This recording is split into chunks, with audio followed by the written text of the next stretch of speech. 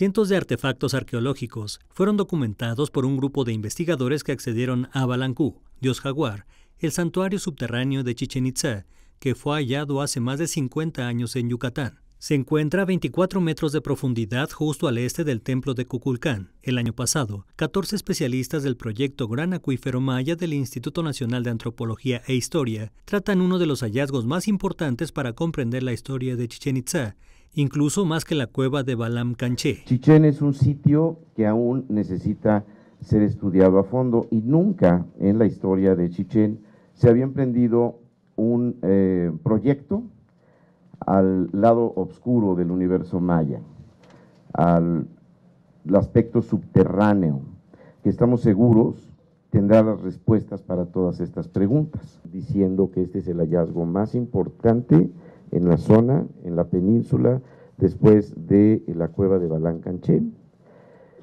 que nos va a dar una gran cantidad de respuestas. Contrario a Balancanché, de lo cual voy a hablar un poco, eh, aquí tenemos el, el contexto intacto, Aquí de lo que se trata es de un contexto, no de artefactos, que claro forman parte del contexto, pero no es el artefacto en sí lo que nos emociona, sino lo que más nos emociona es la información que estos artefactos contienen. El doctor Sánchez Nava mencionó que muchos de ellos tienen incluso restos, pero muchos de ellos, de lo que haya sido que quemaron o que depositaron ahí. Hay restos de collares, de, jade, concha, hueso, etcétera.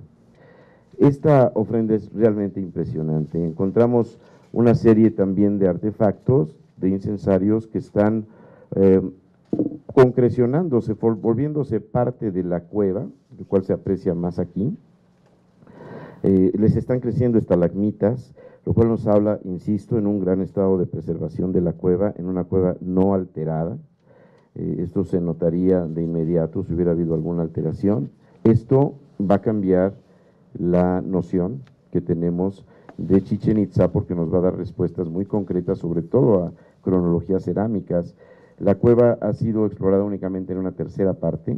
Insisto que es un tesoro de información científica y entonces estamos usando todos los recursos sin ser intrusivos para poder rescatar información. A la fecha, los expertos han encontrado siete ofrendas con incenciarios y vasijas que todavía conservan restos carbonizados, alimentos, semillas, jade, concha y huesos que los antiguos mayas ofrendaban a sus dioses. La primera fase de la exploración incluye la creación de un modelo en 3D de la cueva y el santuario subterráneo ha sido recorrido hasta 450 metros. El financiamiento del proyecto está a cargo de la Coordinación Nacional de Arqueología de Lina, la National Geographic Society y la Universidad Estatal de California.